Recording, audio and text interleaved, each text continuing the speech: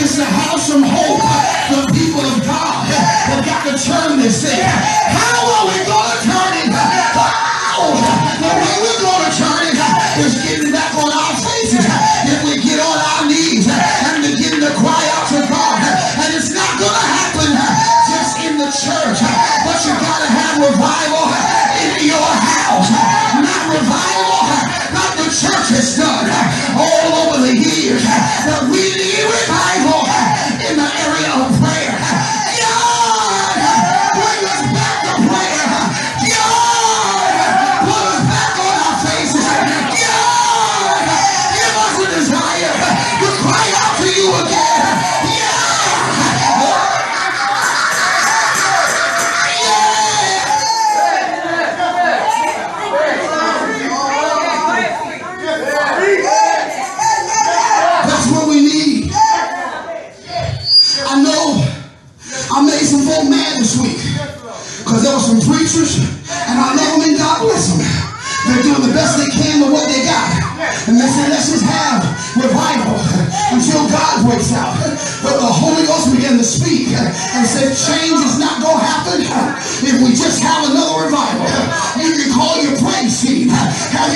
team sing three good songs. And it's not going to change the situation.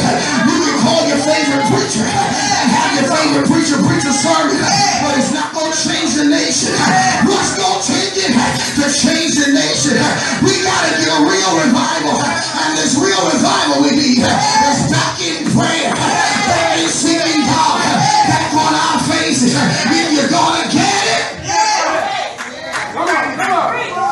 Yes, yes. Do y'all hear what I'm saying? The only way it's gonna happen is if we get back on our faces and cry out to God.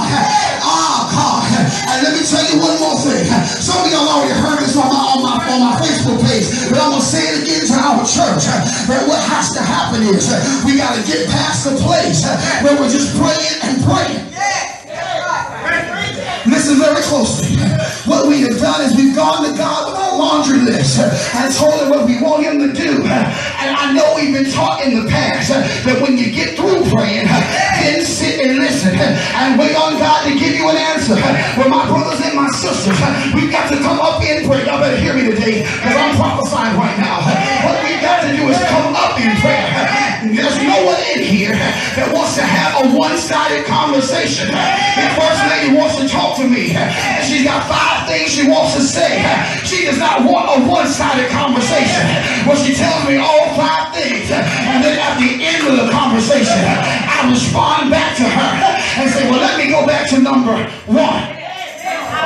Are y'all hearing what I'm saying? We got to get to a place where we mature in prayer. To the place where when we start talking, we know when to shut our mouths and listen while we're still praying. Did y'all hear what I said? We got to get to a place in our prayer lives where we know when to talk and when to listen. Watch this.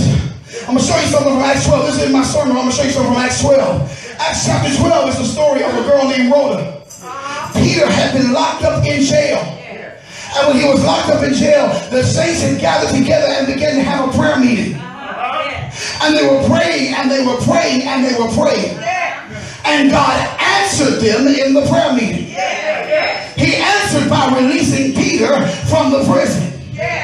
Peter shows up at the door, uh-huh. and only one damsel, one young person, was postured and positioned to hear the answer when it showed up. Y'all catch the revelation of what I'm trying to tell you. Only one woman was postured to catch the answer when the answer showed up. Everybody was in the same room. Everybody was in the prayer meeting. Rhoda was in the prayer meeting, Minister Lisa. She was in there, but she was postured to hear the answer when the answer came to the door. And what I submit to you today is that some of us, because of religious training, we're still in prayer when God is releasing the answer. Y'all miss me, y'all miss me, y'all miss me. God has released the answer, but we're not postured to hear the answer at the door because we're so busy doing religious stuff.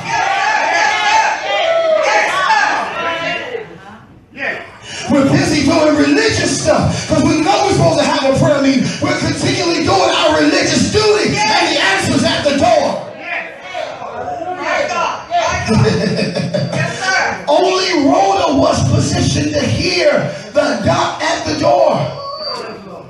She was the one who heard the knock at the door. Watch this.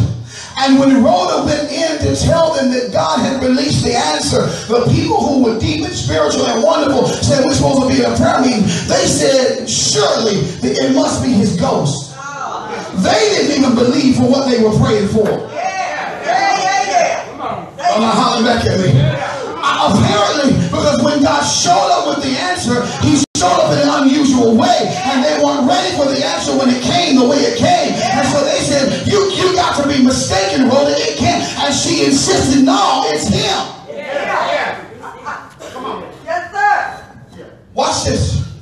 So you got to be prepared for the answer when it shows up. And then when the answer gets there, watch this. You've got to now respond accordingly because it would not have been enough for Peter to be at the door and then to have gotten an answer at the door and they never go to the door and open it.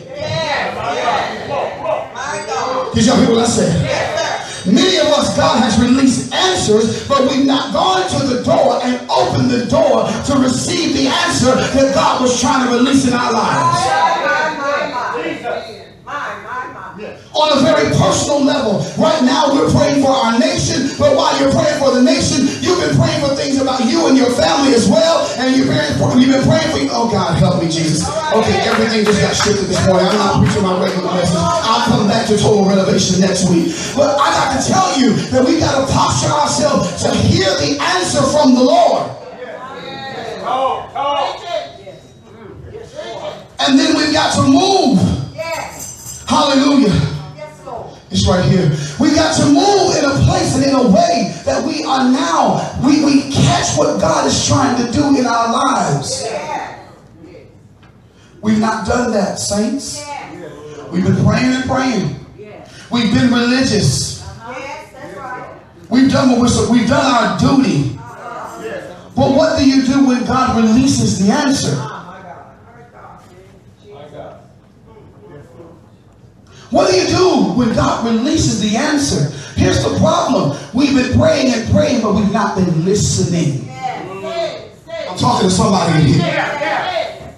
We've been praying and praying, but we've not been listening. And at some point, we got to shift our focus not just to the prayer pattern, but to listening. As I was talking online this week, I said, what we need is a strategy. I said, when we get done, I said, y'all go ahead and have your revivals, call whoever in you want to preach. Do whatever you're going to do. But at the end of the day, there are some conversations that need to be had. There needs to be an understanding that needs to be developed. That's right.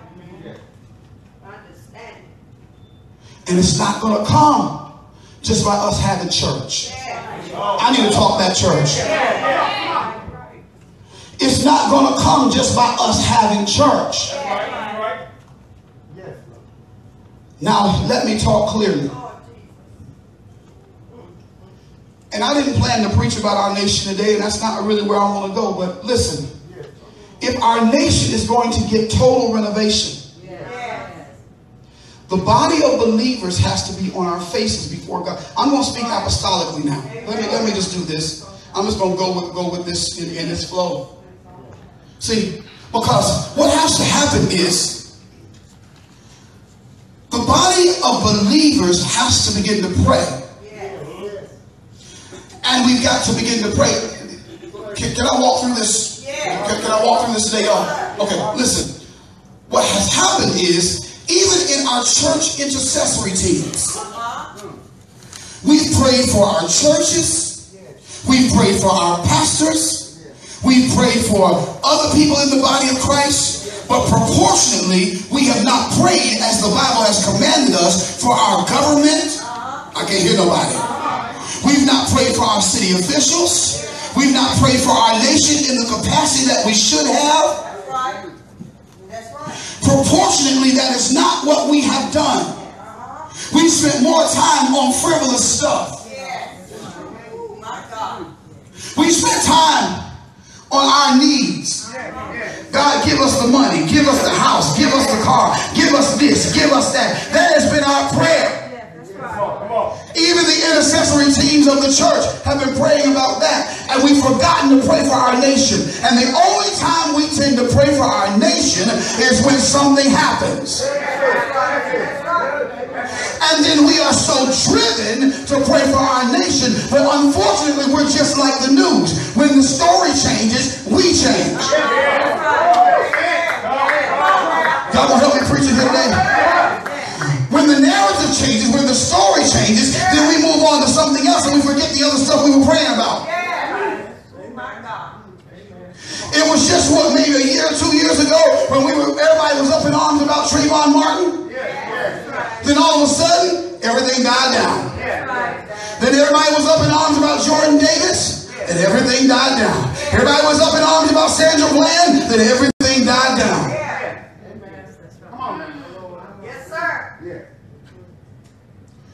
So what we have become is we have become, oh yeah, I'm, I'm going to go deep in this today. What we have become is we have become reactionary. I'm glad this is going on social media. The, the world needs to hear this one. We have become reactionary saints. Now I said earlier, Second Chronicles 7:14, if my people, which are called by my name, humble themselves, pray, seek my face, turn from their wicked ways, then will I hear from heaven, forgive their sins, and what? Heal their land. Uh-huh. That's the text, right? Okay, but look at this. If we have not been praying consistently as believers and on our faces as believers, uh-huh. we have not heard God speak to us about A, the things that were coming. Yes, yes. Come on now. Mm. Oh, yeah. We've not been listening to God about the things that were coming. Yes. So we didn't have a voice to pray against the things that were coming because we weren't sensitive to the voice of God. No. No, no. Are y'all talking to me in here? Let's be honest. We have not been sensitive to the voice of God. God, the Holy Spirit, knows what is past, present, and future. And He knows how to deal with us and show us what is to come. And if our hearts are sensitive to the voice of the Lord, we will be able to hear even of the things that are coming. And by hearing of the things that are coming, it will cause us to go into prayer concerning strategies of how to handle the things that are to come. It should not be that the saints are on the back end looking for an answer. It should not be that the saints are on the back end playing catch up on what is the answer. We should be on the front end praying and we should have the answer ahead of us so we can speak the word of the Lord and declare it in the atmosphere.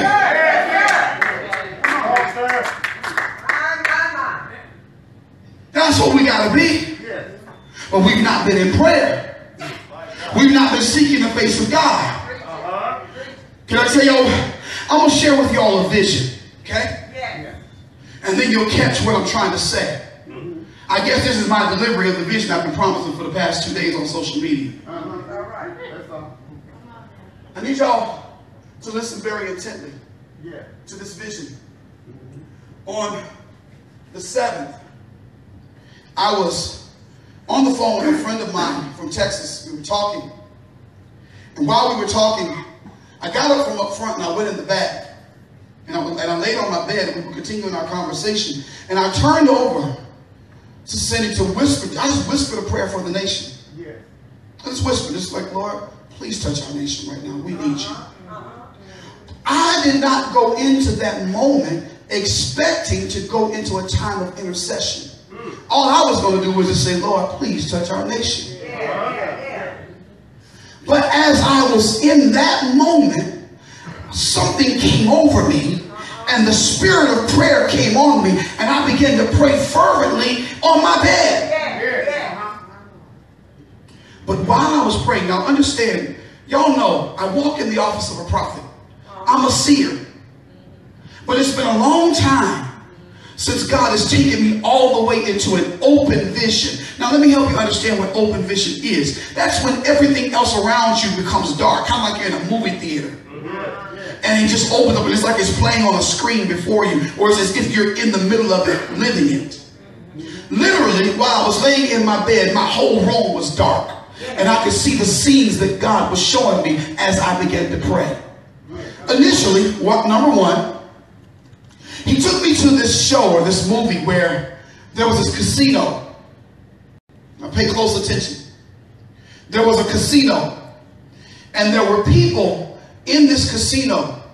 And this group of other, this other group of people, like four or five people, came into the casino and they were looking around. And people had been in this casino. People who were in the casino had been there for years and years and years and never left the casino. Uh-huh.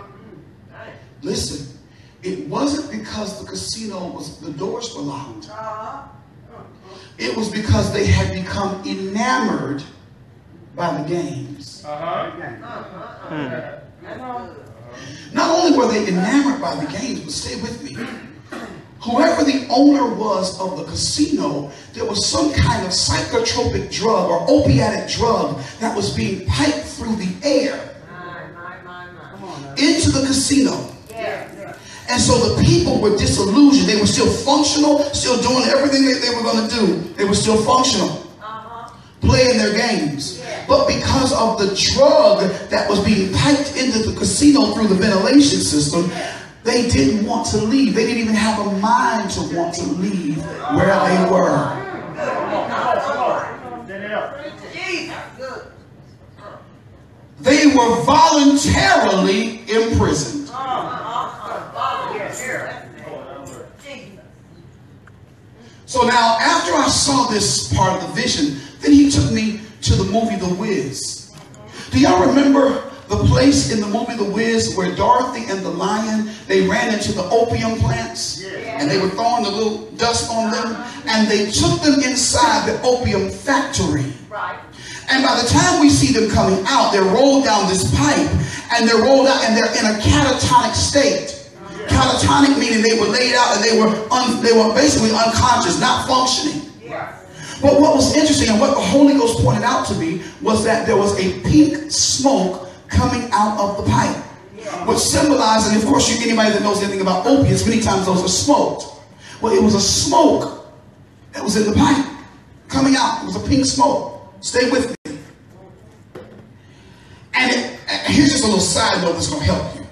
It wasn't until Dorothy and the lion's friends began to cry over them that they came out of their catatonic state.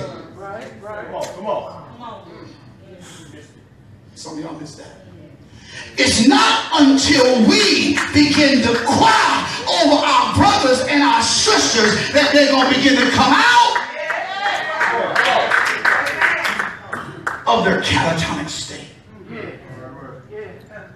But in that instant, I saw the smoke, and the Lord really brought attention to the pink smoke because then I was taken into the church. It was a sanctuary. I don't know what sanctuary I was in, but I was in a sanctuary. And I looked around. Lord, help me to articulate this effectively. The entire room of the sanctuary was filled with the same pink smoke Woo! Jesus. that I had seen at the factory. Yeah, yeah, yeah. Ooh. Uh. This is the part that scared me yeah. or concerned me. Because when, if you were in the smoke, it didn't look like smoke. It looked clear, Yeah. With the exception that it had a slight pink tint to it. Uh-huh. And coming from this smoke, it was literally like the same drug that was dealing with the people in the casino. Had their minds all messed up. Watch this. Remember, I told you the folk in the casino didn't want to leave, Yeah. Come on. and they were still playing their games. Yes. Yeah, yeah. Ooh. Come Keep in mind, now I'm in the church. All right, all right. Come on now. Come on. In my vision, I'm in the church. Yeah. See you, I see. Okay. And we're still doing. Everybody that was standing up, listen to me now. Yeah, yeah. Everybody that was standing up were in this pink smoke. Uh-huh. And I saw them doing what looked like church. Stay with me in the Holy Ghost, y'all, please. Help us, help us. Yes, Lord. I'm talking about they were dancing, they were shouting, they were, I'm talking about they were falling out on the floor. Yes. They were doing all this stuff in the pink smoke. Uh, It was a cloud of smoke. But here, they were calling this cloud that they were in the move of God. They were calling, Sister Anna, the cloud that they were in, that cloud, because they were so undiscerning. Yes. They were calling the cloud the move of God. Uh-huh. They were saying the glory cloud just showed up in our church. But it wasn't the glory cloud. Are y'all hearing what I'm trying to tell you? Say it, speak it. So what was happening was they had this cloud. And they were, I'm telling you, they would go. If you didn't know any better, it was so close to what the move of God looks like. Uh-huh. You would have not been able to distinguish that this was not the glory cloud. That's how serious it was. It was that tight. It was that close. It looked that much like the things of God. Yes. Yes, sir. But it wasn't God. Yes, sir. And so, in the vision, I was, I said, God, then the Lord took me back to the last two or three years on social media. When I was on social media, in the last two or three years, there's been an outbreak of people posting praise break videos. Y'all know what praise break is, right? When folks are shouting and dancing. There's, there's a rash of people posting praise break videos. And I began to ask God, I said, God, I need you to help me understand. I mean, this was two, three years ago when it first broke out. I was saying, God, why is this rash of praise break videos hitting the, the, the social media waves? This doesn't make sense to me. For three years, God has not answered me until this week. In this vision, God gave me the answer. Because my question was, God, why are they not posting the word that led up to this praise break? That's what I was curious about. Because obviously there was something that pushed them to the break. But what was it that got them there? That's what I want to know. And rarely was there a word that was shared that led up to the break. All you see is this fancy footwork. And everybody so they the moment a shout breaks out, that's when folks start getting their phones out. Can I walk a little further? I'm, I I know this is going over social media, but I'm, I'm going to do it and I don't care. They can call me later. All right. I was in a service. Oh, I'm not scared. Come on, come on. Uh-uh. Not, I, I can't walk in fear. I was in a service where Dr. Dorinda Clark Cole was preaching and singing. Uh-huh. And she was trying to take the people into a worship Uh-huh. before she preached. But so many people had their cell phones out recording her singing because she was a celebrity that they missed a worship moment. Don't, we don't have a problem here in, in, in Kingdom Life if you got your social media out and you're texting or you're not texting, but if you're tweeting or you're Facebooking the points from the message or things that God is saying in the service, we don't have a problem with that. But when it hinders you being able to worship God, we got a problem. So in that instant, and I'm not trying to attack anybody, I'm not trying to belittle anybody, but I realized something. That drug, that spiritual drug that's in the pink cloud has got us addicted to entertainment. Y'all should have hollered right there. That's it. Amen. It has us addicted to. Now, I can, I can prove it to you. I'm going to show you. I'm going to show you. And then I'm going to get back to the vision. Post a video of somebody teaching the Word of God. Uh-huh. Line upon line, precept on precept. They're teaching it, uh-huh. sharing it. Yes. Folk will not spend uh-huh. 15 minutes to watch what's going on. That's right. That's right. You don't want- That's You got that right. But now, on the flip side, let it be somebody, and they see what they do now is they, they post a part of the video right when the person's getting ready to build up to their hoop. Yeah. They post just before the hoop, and then they post the hoop. Yeah. And folk get excited because they hear whatever it took to build them to the hoop, and they get excited over the hoop. Uh-huh.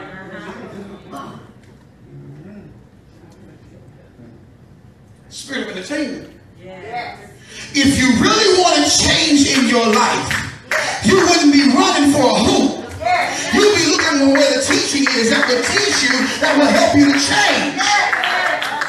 Yes, sir. Say it. Can I can I walk a little deeper? Some of y'all weren't there with me at Trinity, so I'm gonna talk a little bit about Jeremiah chapter 8. In Jeremiah chapter 8, he said, You are putting band-aids on broken bones. Yes. My nurse is in the room. Does that make sense? Why would you put a band-aid bones? And that's what our preachers have been doing in the body of Christ.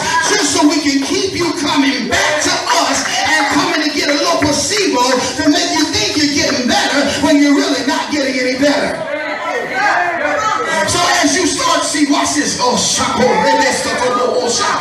when you understand what is what really when a person breaks their arm, what they have to do is go back in and reset the arm so the arm will grow back properly. We don't have leaders in the body of Christ for the most part who are, are willing to go in and apply some pain to reset the limb that's been broken. We let you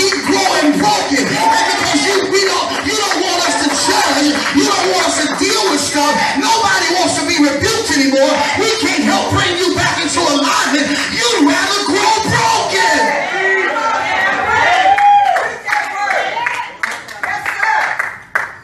The people would rather continue to be left alone and grow broken.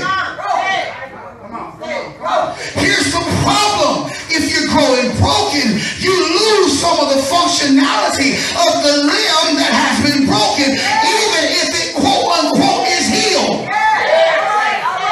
Come on. Say it. Say it. Y'all hear what I'm saying? Yes, sir. Don't reset that arm. Watch this. You'll have stuff sticking out in places it ain't supposed to be sticking out. Right. All right. My God. My Broken. Yes. People don't want to be rebuked anymore. They don't want correction anymore. They don't want order. No harm. Just keep feeding me a pill Uh-huh. Yeah, yeah. Say it. that numbs my condition. Yes. Come on, Elder. Very true. Hallelujah. Preach it. Come on, Elder. Keep giving me something that numbs my condition. Keep telling me no matter what you're going through, God's gonna bring you through. Well, when we finally come to grips with the fact that some of the stuff we're going through is our own fault, and we need somebody to tell us it's our fault,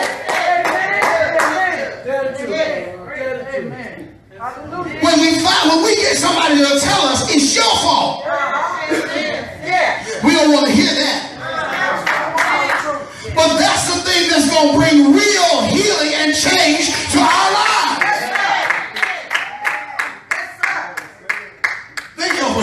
for helping me preach it here today, Kingdom. I feel it in here. We don't want real change, so that's why we can put these entertainment videos up and these praise break videos. And the Lord showed me in the vision because people just want to be entertained, but they don't want to sit for 30 minutes and hear a real word. Come on, Elder. Can I walk deeper?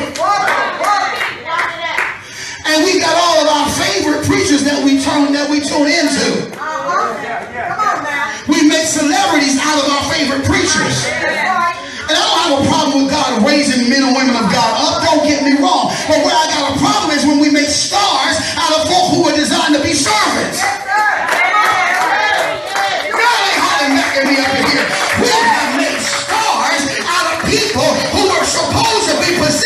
to be servants in the house of God.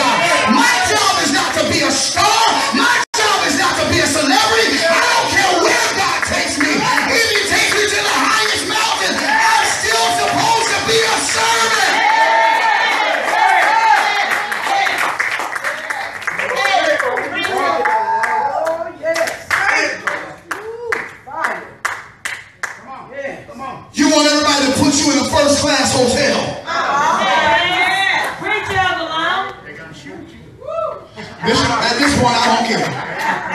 They can come for me if they want to. If I'm gonna be a prophet, I gotta be a prophet for real. They gotta put you in a first class hotel. They gotta give you all these major accommodations. You got a rider like a celebrity. Yeah. Come on, come on. You can't be picked up in this kind of car. Yeah. Up in the limousine. Woo. If I'm coming to your city, you gotta pick me up in a limousine. Yes, sir. Yes, sir. Or it better at least be a Mercedes or a BMW. Well, oh, But baby, what, what about when they were riding on donkeys and had to walk? Okay, I'm gonna hit this, but I gotta get off of this. But now I, I agree that there are some churches that take advantage of preachers and don't bless us properly. Yeah. Mm-hmm. They don't prepare for us as gifts to the body of Christ. I agree that that is a problem. Yeah. Pastors and leaders don't bring somebody in that you're not prepared to be a blessing to. Okay, but now here's my other problem. There are big folk who have no mind to go to little churches because they think they're too big for that.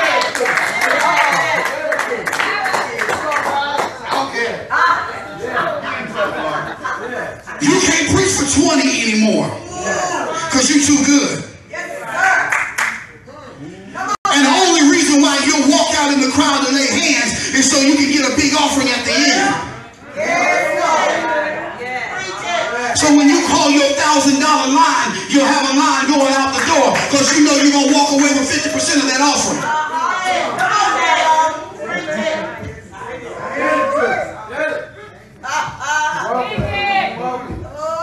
Kingdom, I'm gonna need y'all to have my back. If y'all see me in the street, y'all have to cover me because I done made some folks mad. We got you. Tell the truth. Just tell the truth. But that is what has happened. Why? Because we have made stars out of people who were supposed to be servants. I'm going to say right now, boldly, flat footed, I'm going to say to every preacher out there, you were never be a star. You were called to be the chief servant of all.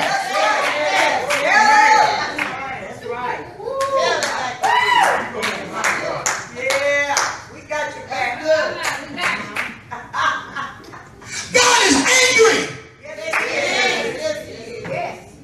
Yes, yes. with what we have made the church. Tell it, tell it. Let me, let me take you back to. You'll see why in a moment. So, told you, saw these praise break videos and all this stuff, and it was entertainment. And part of what happens in the smoke is we are inebriated in our minds that we think entertainment and being entertained is the move of God. So then, listen. Listen. All of a sudden, I heard, God took me to a place in the spirit where I heard witches and warlocks. And they were having a conversation, almost like they were on walkie talkies, because some of them weren't even in the same physical location. But listen to me. And their, their statement was this they said, The stage is set. Let's go in now and do our work. The witches said, in my vision, I saw the witches, I heard them talking. And they weren't even in the same location, but they were somehow communicating. And they said, Let's go in. The stage is set. Let's now go in and do our work. Yeah. Now, let me go back and point one thing out. When I was looking at the pink cloud that was in the room, now from the outside, the pink cloud looked like a very, very dark pink. like a dark hot pink kind of color. But from the inside, it just looked like you were in a clear environment, but it just had, had a pink tint. But now, listen, listen, listen. But I noticed something very specific. And that was that this pink cloud stopped about this high off the floor. Everywhere in the sanctuary, it stopped about this high off the floor. Uh-huh, uh-huh. And the rest, everything up under that was clear space. All right, all right. And the Lord began to say to me this. I, now, mind you, keep in mind, I'm in prayer and intercession on my bed when I'm seeing this. The Lord said to me, the reason why you are able to see the pink cloud and identify the pink cloud is because you're on your face. Because if you were standing up, which represents pride, you'd have been in the cloud. But in order for you to not be in the cloud, you had to be on your face. When, when the cloud is coming to this high off the ground, Are y'all catching what I'm trying to say? I can't even be like this when the cloud, I'm on my knees. I can't even be on my knees when the cloud is coming down to about this high. I had to be on my And I began to look around in the spirit and I saw others. And it was as if God took me to other sanctuaries. I was still laying where I was, but I was in other sanctuaries. No, I'm gonna take those off. I was in, I was in a sanctuary, I was in the same sanctuary where I had been, but I could see other people. In others, I could see other sanctuaries. And I saw other people who were on their face like me, who weren't in the cloud. But the number was very few. The number was very few of the people who were beneath the cloud and on their face. God said, the only way you're going to stay out the cloud is if you stay on your face. Are y'all hearing me today? This is serious. This is serious, saints of God. The only way you won't be deceived by the seducing spirit that is the pink cloud uh-huh. is that you've been on your face. But now, let me go back to the witches. I'm almost done with this, with this vision. This is what messed me up. Y'all still with me? Yes. Here's what messed me up. When the witches said the stage is set, let us go in and do our work. Listen, they walked into the church while everybody was still shouting and dancing and doing their stuff. Stay there. They walked in uh-huh. and they got right next to the church folk. Yeah. Yes, sir. Come on now. They walked in and they sat down next to the church folk, the ones who were in the pink cloud. Yeah, yeah, yeah. They walked in and they were standing amidst the folk who were in the pink cloud. And because the people were in the pink cloud and they were disillusioned and they had no discerning, they could not tell that it was witches sitting next to them. And while they were speaking in tongues, the witches were chanting.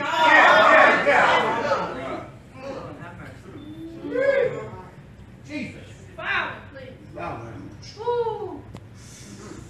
Come on, Lord. Ooh. While they were, he called out the outside.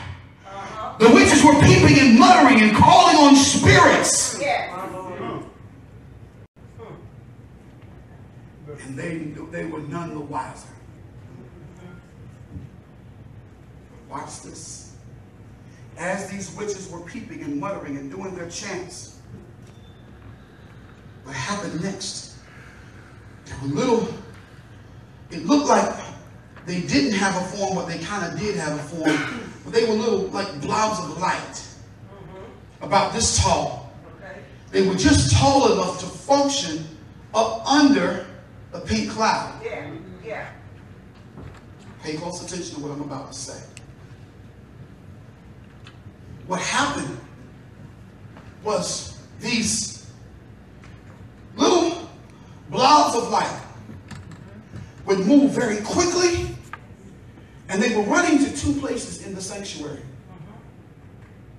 They were running to the pulpit and to the altar. Did you hear what I said? They were running to where? Pulpit and altar. I said, and what they would do is when they would run to the pulpit, like I said, they were all, they were without form, but they kind of had a form, if you will, and they would run up to the altar, to the pulpit, and they would grab something and run out the door very quickly. And I'm talking about they were just, and I'm watching them go in and out.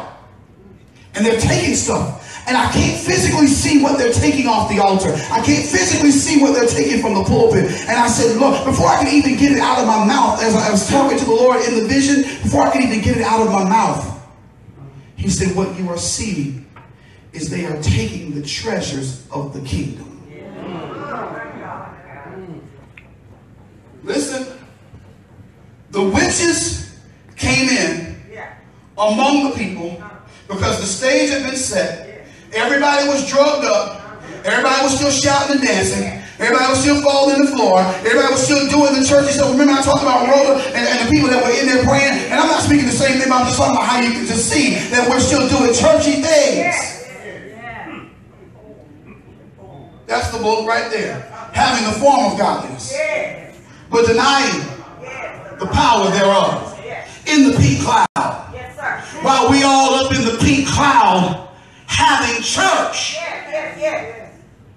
Not really being, see, the proof of whether you're in the cloud or you're in the glory cloud is where the change is beginning to happen in your life for real. That's the proof. Are you changing for real? For real. Or do you have to come back every week to get another fix because you messed up again? Same stuff you've been falling in for 20 years. Yeah. Come on now. Hey, preach it. Oh, you better say it, Big L. Don't do that. she almost slipped into something. Don't do that.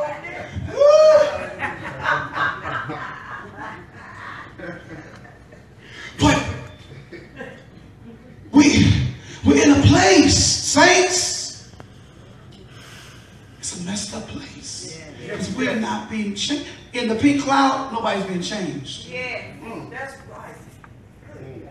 In the pink cloud, we still holding on to the way mama and them used to do it. Yeah, yeah, yeah. Uh-oh, let me go deeper. In the pink cloud, we call ourselves getting a new revelation of things and walking in the fresh wind of God and the fresh move of God in the pink cloud. But if the truth be told, we're not walking in real power. Because here's reality. Yeah. When you're in the real cloud, uh-huh. the real cloud of God, yeah. lives are changed, communities are transformed, things begin to happen on a whole nother level. Let me finish this out.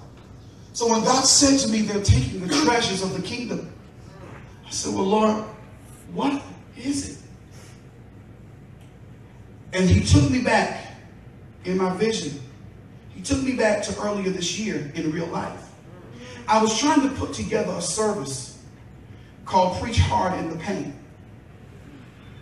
And what it was designed to be was a platform for young adults who were coming up in ministry to give them an opportunity to exercise their gift. What I was going to do was put together a two-day service where these youth and young adults who had a ministry, who had a word on the inside of them, give them about 15 to 20 minutes apiece to preach the word of God. And I was going to, there were going to be young men and women who were qualified and released by their pastors to share a word. You know what was so disturbing? I couldn't even put the, and I asked God, I said, God, I, I feel like this has been in my heart. Why, why can't I do it? Mm-hmm. Now I understand why I couldn't do it. Because I needed to see this vision. What was the vision? One of the treasures, listen, that were being taken The treasure that was being taken from the altar was the next generation. They were stealing our youth and our young adults and taking them out the door. Did y'all hear what I said? They were coming in, grabbing them up.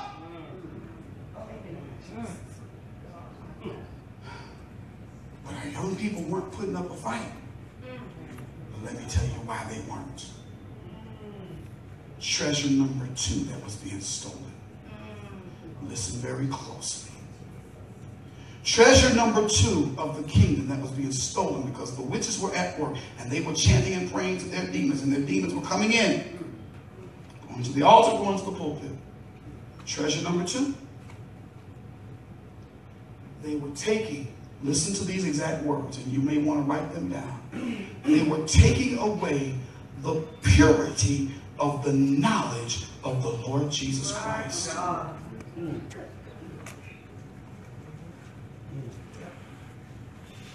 They were taking from the pulpit Yeah, yeah. the purity of the knowledge. I, I, I want to hone in on that word. The purity Purity. Of the knowledge of the Lord Jesus Christ. How do I know? It's rare anybody's preaching about that blood anymore. That's right. Come on, Lord.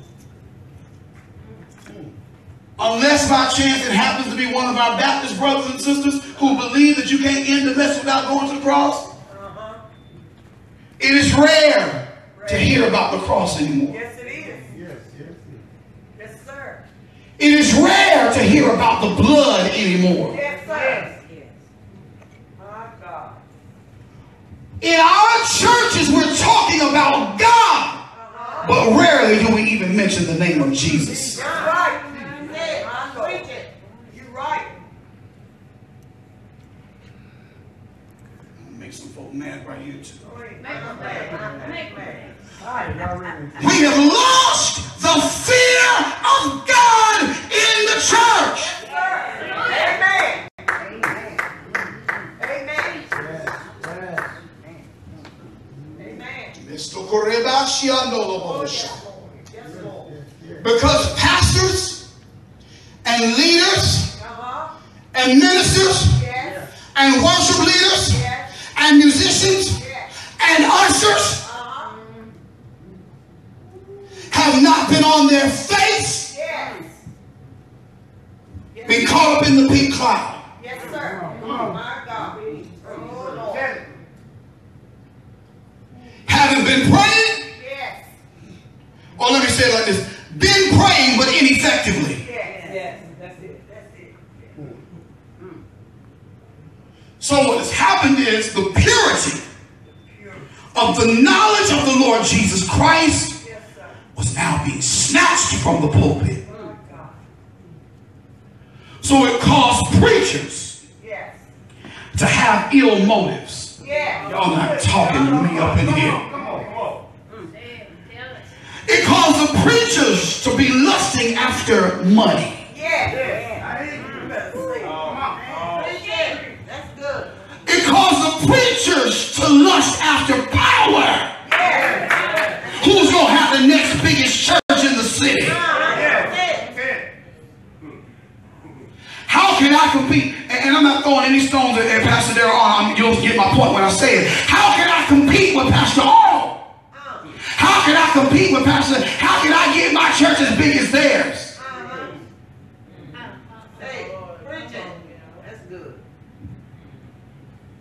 We got pastors right here in this city. Oh yeah, they're gonna run me out today. They're gonna be ready for long to leave Knoxville after this one. Pastors right here in this city, they think because their church has started to swell up a little bit, they're doing something. Uh-huh. You better say that good. Come on. But you're not training your people how to pray.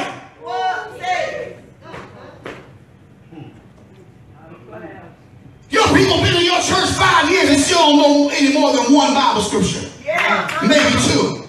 Yeah. You're not putting a demand on them to get in the Bible and start learning something. Yes. Yes. But you're excited because you started, your church done went from 100 to 3. Yes. Yes. That's it. That's it. That's good. Tell the Yes, truth. sir. Hallelujah. Preach it. And your messages are all about how God is going to bring you out of what you're going through. You're not teaching your people how to walk in dominion and authority. You're not teaching them their identity in the kingdom.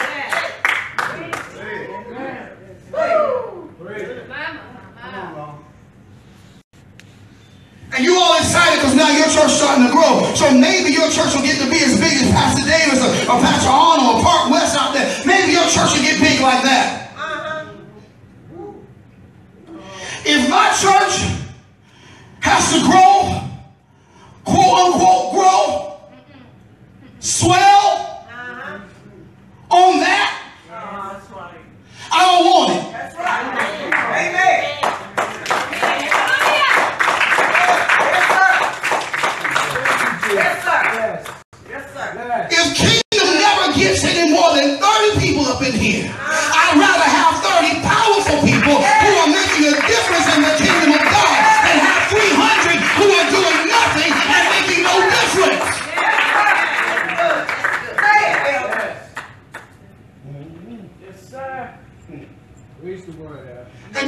Wrong, I'm not against big churches. I'm not speaking against Pastor Arnold or Pastor Davis or anybody else.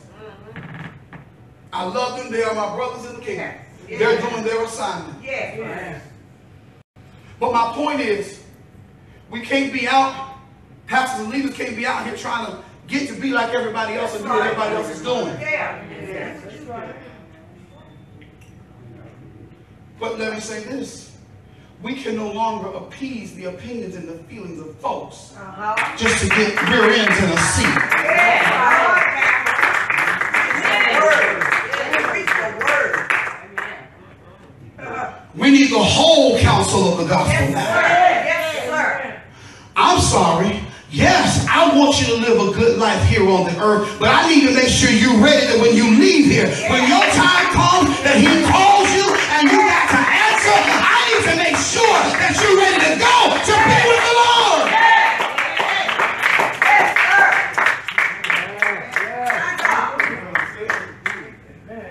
Pastors, make that your agenda. Don't just prepare. I'm not speaking against preparing your people to live here. Yes, we got to live here while we're here. But while we're preparing them to live here, we need to make sure they're ready to meet the Lord. That's right. That's good, Elvin. Good. Yes. Walk Good it. word. We so caught up in the pink cloud. Yes.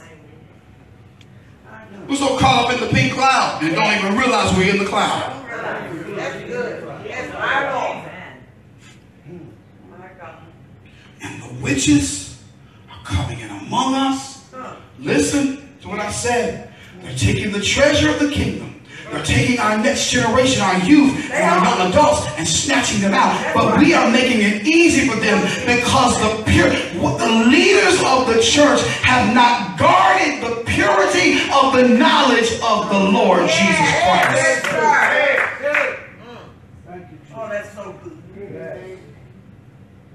Oh, and it's not just on the leaves. Yeah. it's in the pews too. Yes. In the pews, we've not guarded the purity Yes, sir. Of the knowledge of the Lord Jesus Christ. Yes, Christ. sir. Yes, sir. That's good. That's good. Amen. Preach it. Get in trouble. You got your back. Bring fire. We would much rather have people making them feel good and telling them they're okay. Uh-huh. That's right. Some of y'all think I'm just talking about the homosexual. I'm not just talking about the homosexual. We cover up for the liar. Y'all not hollering at me now. We don't want to talk about the liar anymore. We don't talk about the fornicator anymore. We don't talk about folk who are in adultery anymore. Because we all on the homosexual. Yeah, yeah, yeah, yeah. And so we've made it comfortable.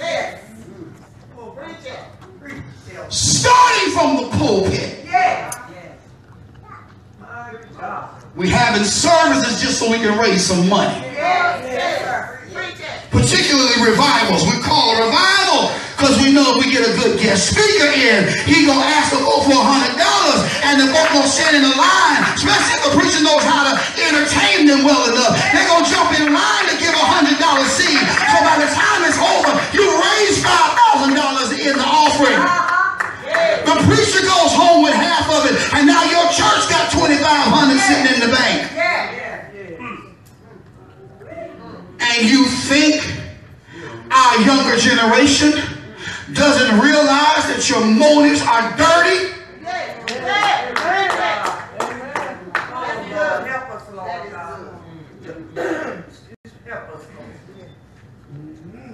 We're hypocritical. And you think our younger generation doesn't see our hypocrisy? We accept who we want to accept.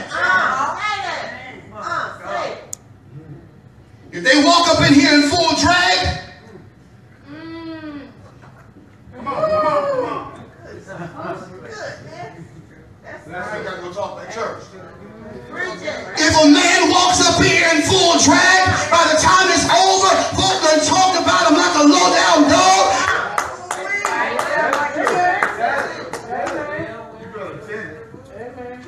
And that's only because you can see what they're in.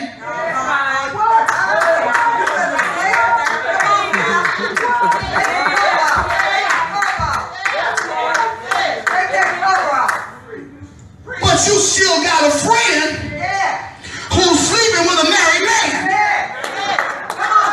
Y'all not hollering back at me.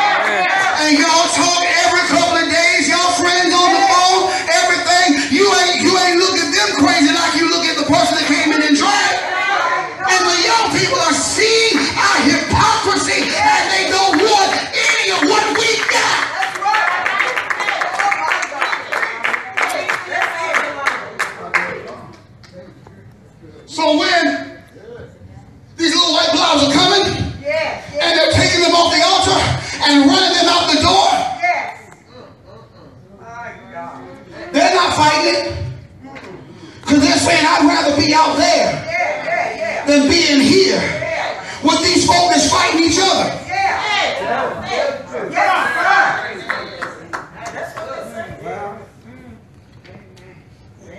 If I'm going to be out there and do my thing, I'd rather be out there with folk fighting on the streets. At least I know their position. Y'all didn't holler right there. Y'all didn't holler right there. They say, at least I know their position. If they don't like me, they let me know they don't like me. And the church is the only place where we'll go talk to everybody else about who we don't like,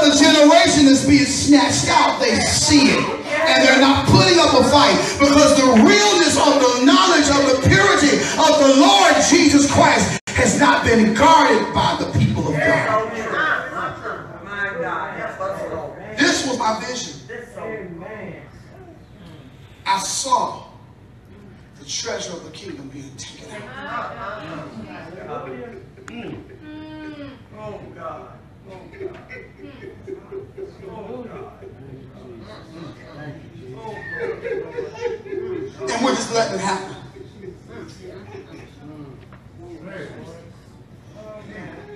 I preached this today. God shifted my whole message. Thank you, Lord.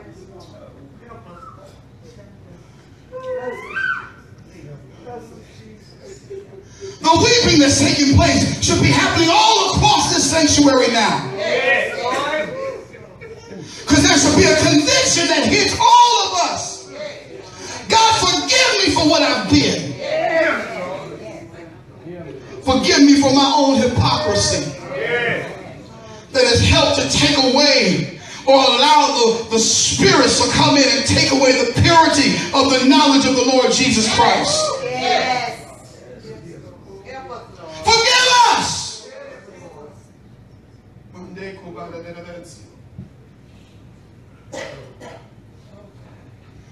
We need to get back to the place where there's power in the church for real. Amen. Yes. Preach it. Feel an anointing in here. Mm, I did a walk on shine.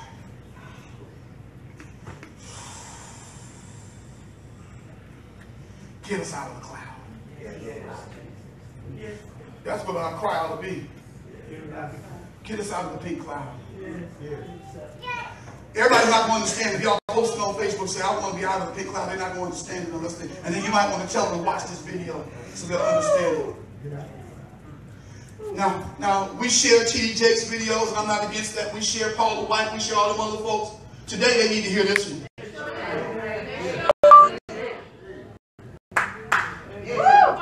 Today we need to click share on this one. Because real change needs to happen now. Yes. If we were to make Jesus Lord again in our lives, in our churches, in our families, I hear God.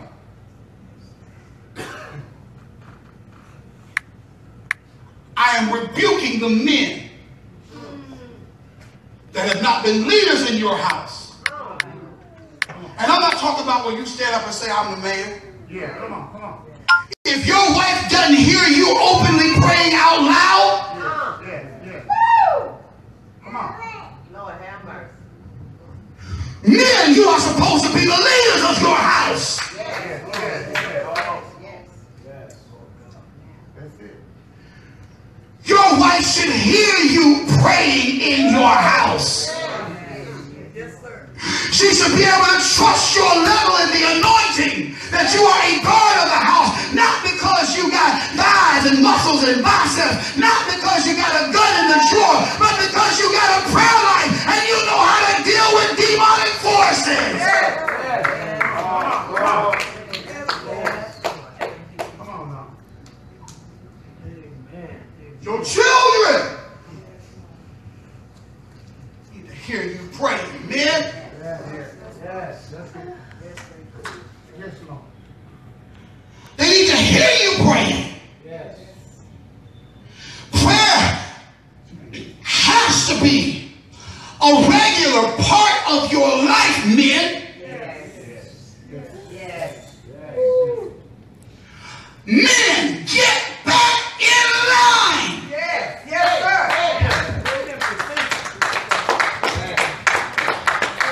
The Holy Ghost talking, y'all. I hear it talking. And the Holy Ghost is saying to tell somebody part of the reason why this nation's in the condition that it's in is because the women have had to run things and had to carry things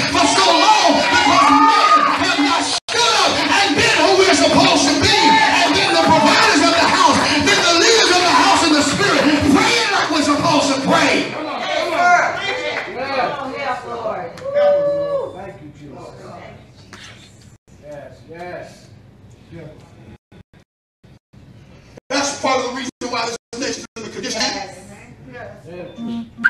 Because men, you ain't been on your guard. You haven't been on your post.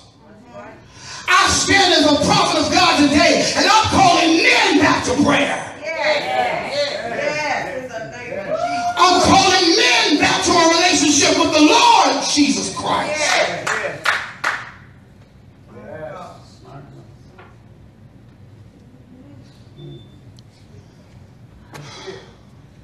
Y'all can really not have my back today. Come on, come on. Get rid of your side piece.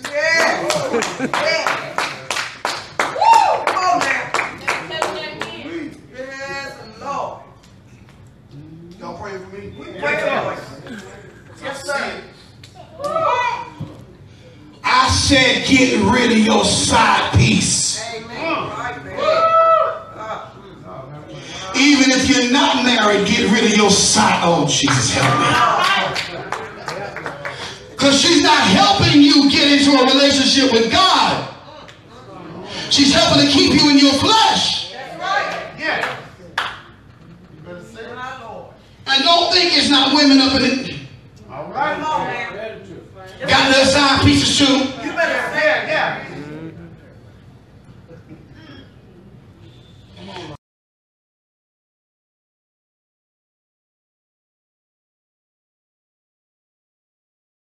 Ladies, If you have a husband, support your husband. Yes. That's right. Yes. Am I preaching truth, mama? You're preaching truth and good. I'm telling you. Ladies, get back in place. Praying for the man of God, what he did to you in the past. And half the time, it's not even what he did, it's what some other joker did that you're still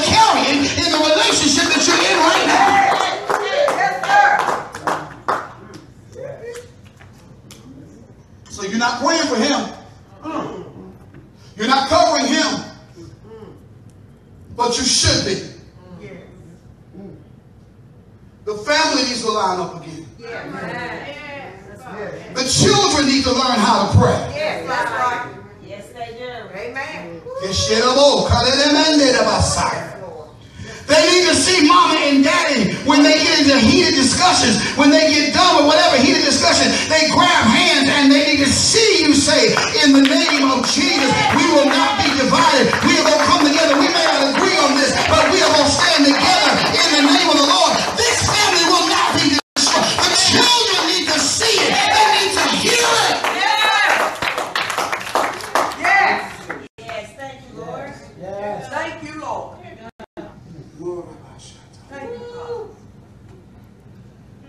I feel so well, y'all saying, well, I got it all together. Everything cool in my house.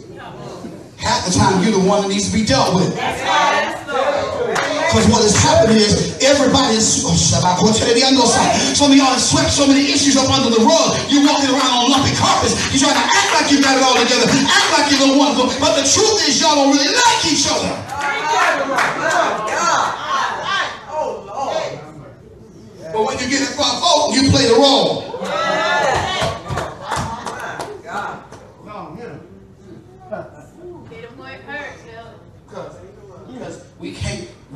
We can't let them see what goes on in our house. What goes on in the house.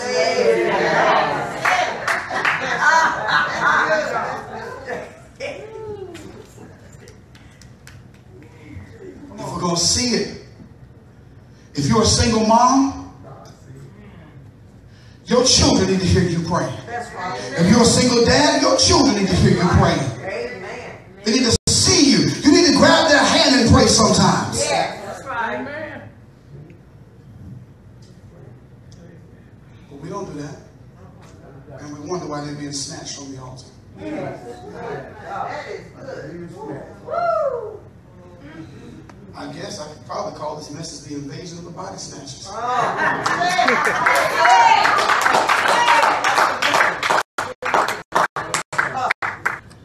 And literally the key word being the body. And I'm not talking about physical bodies. Yes, the Bible. I'm talking about the body of Christ. Yes. Yes.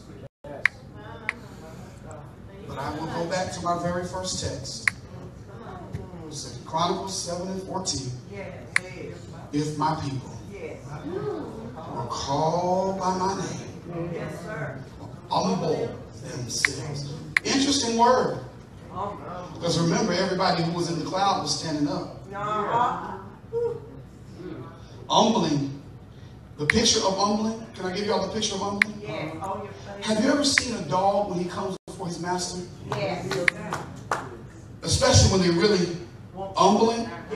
A dog will get all the way down on all fours and they'll crawl up on their belly before their master. Yes. They're saying, You in control. Uh, amen. I submit. I may have the teeth to bite you, but you're still the master. Yes. My God. My God. That's good. If my people, Are called by my name, will humble themselves, pray, pray, pray. What I said at the beginning? Pray. Pray. If we're gonna see this nation changed, gotta be, there's gotta be a revival of prayer, not just in the church, but in our homes. So that God can and remember said. I need to bring this back home again. And you gotta not always be talking in prayer. Say and then hush. Uh-huh.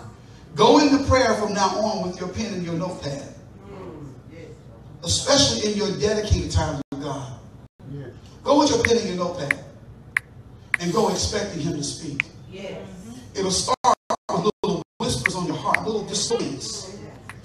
Some of you, I did a shikada, did those. Some of y'all say, I've never heard God speak to me before. But go in, and shut up. some of you need to start going in with your pen and your paper.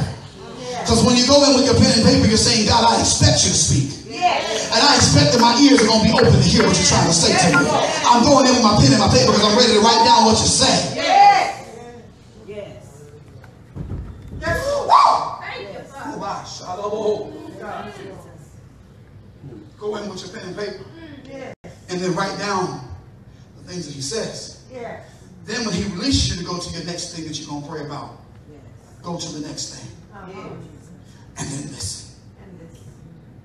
Write down what he says. Mm. And if he doesn't speak, there are times he's not going to say a thing. Mm.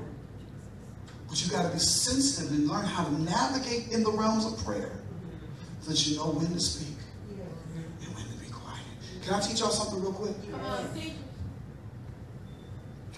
got to be in a place where you say, Holy Spirit, before you go into prayer, Holy Spirit, guide my prayer today. Show me what to pray. Show me how to pray today. Because watch this. I'm going to give you a Bible to back up what I'm saying. It says that the Spirit of God knoweth the things of God. He knows the heart of the Father.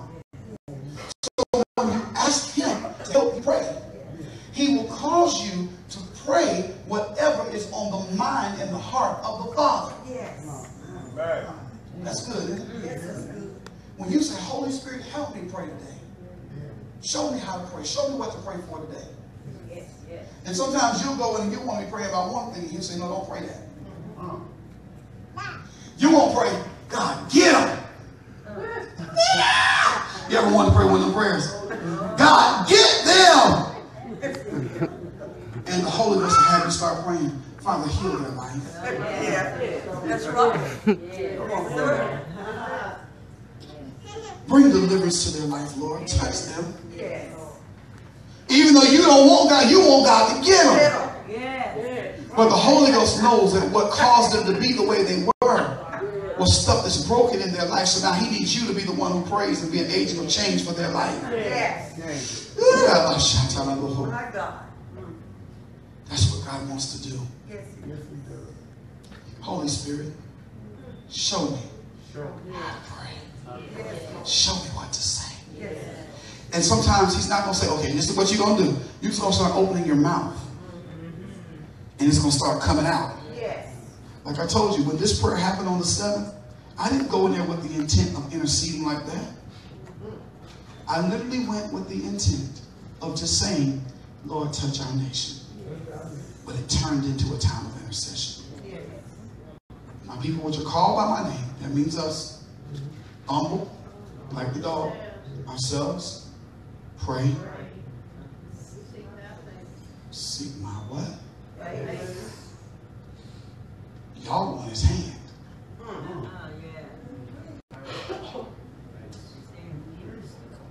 You want his hand. When my kids were young, I would go out to eat. I used to love, y'all know I love sweets, so pray for me. I do better now. I do a lot better now. Let me tell you, I do better. But my kid, when I would come home, I would always, I, I would never eat all my lunch. So I would always bring it home. Yeah, yeah.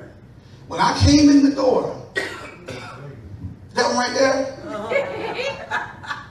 he'd be the first one.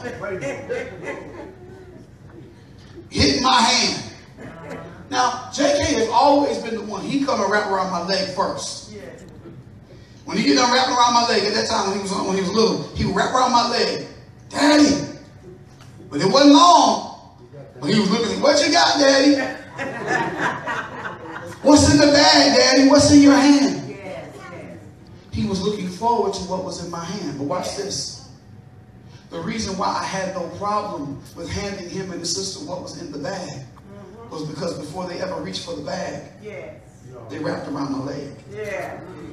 They would kiss my face. Yeah. Are y'all catching the revelation what I'm trying to say? They wanted to hug daddy first. Then they would ask what's in the bag. Yeah. When you have a heart Yes. that says, Daddy, I want your face, I want your will. First, Yes. he has no problem giving you what's in the bag. Amen. That's good. That's good. So the scripture said, seek my face. See my face. Seeking means you got to turn over some stuff. Yes, You got to move some stuff out of your way. Yes, You got to cut off some stuff. Yes. And then it says, turn from your wicked ways. We always think about the major stuff, but what about the stuff we don't think about? Yes. Wicked ways, stuff that we were told to do that we didn't do. I'm not talking now. Yeah. Stuff God told us to do that we didn't do. Get up and pray at 3 o'clock in the morning for the next week. Huh? I'm sleepy, God. That's wicked because God wants to use you to bring change through prayer. Turn from your Wicked ways. We're talking about people like a dog. Wicked ways. But I'm not talking about them. I'm just telling the truth. Wicked ways. My Bible says love covers a multitude of sin. I'll deal with you personally about what I see. But I'm not gonna let I'm not gonna attack you and I'm not gonna let anybody else attack you Man. While you getting yourself together. Yes. Turn from my wicked ways. Then he's going to hear us from heaven. He'll forgive our sins. And our land will be healed. Yes. Are you in agreement with me today? Yes. Yes. Somebody put those hands together and give the Lord